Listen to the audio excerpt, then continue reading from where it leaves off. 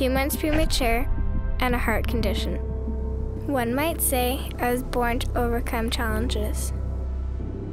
I searched for my place in this world, and I found it here. This pebbled ice is where I battle now. I have my sights set on the Olympics, and I will push hard to get there.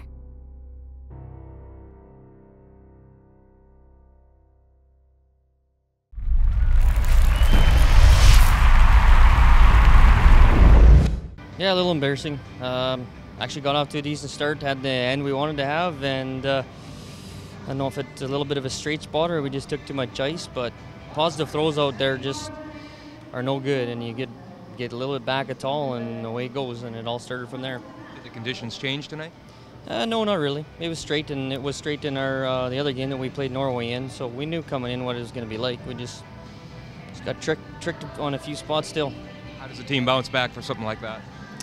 Uh, well, it's going to be pretty tough. Um, you don't come here hoping to play in the bronze medal game. You come here to be in the gold medal game. So, very disappointing.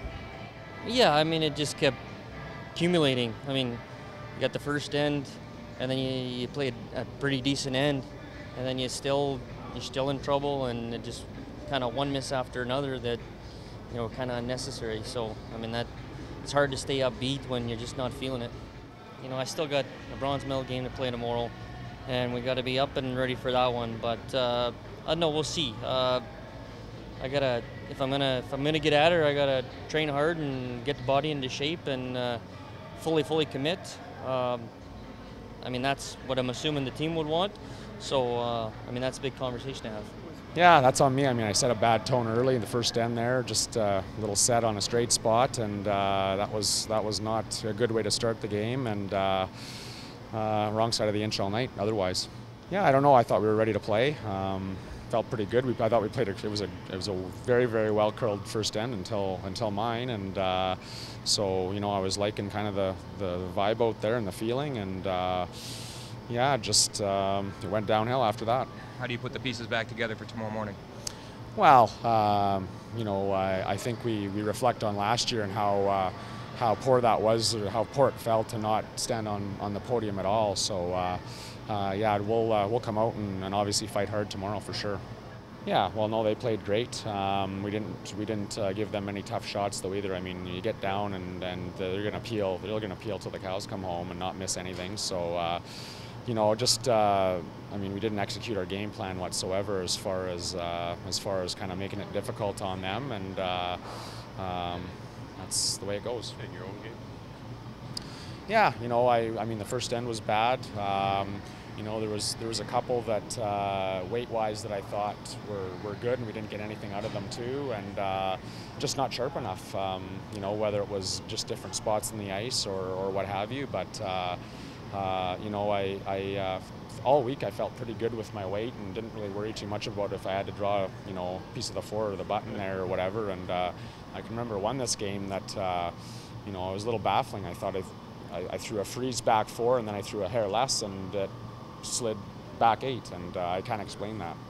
You know, that's that's the beauty of the one-two game uh, is is that you know you have that extra life and you know, I mean, so similar to our Brier last year, we lost the one-two game last year and uh, and came back and found a way to, to win the semi and the final. I mean, you know, I can. All of us have been in every scenario known to the Page playoff system, and uh, you know, I think we've we've all won from different positions uh, at different times, and uh, so.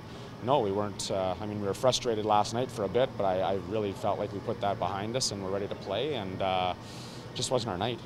No, uh, I don't think uh, it was possible to play any better than that. And um, it's uh, for sure the best performance we've done as a team so far. And uh, being a new team, uh, I, am really proud of how they played and how they handled this situation. Uh, so I'm um, really looking forward to, for tomorrow. In terms of having a comfort level, coming off the game that you had this afternoon and going straight into that game, did that help you guys?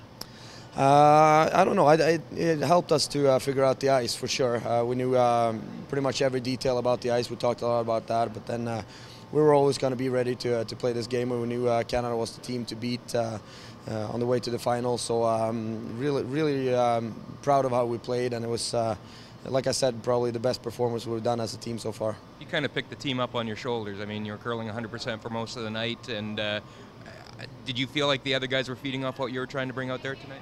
Um, yeah, well, I think we were all playing uh, playing great. Uh, a few small mistakes, but uh, they were all coming um, the right way, so to speak, and we never made, made any, uh, any big mistakes that were costly. We um, kept uh, kept them on the on the right side the whole game, and uh, um, and then making all the, the, shots at the end of the the, the ends didn't really give them a chance.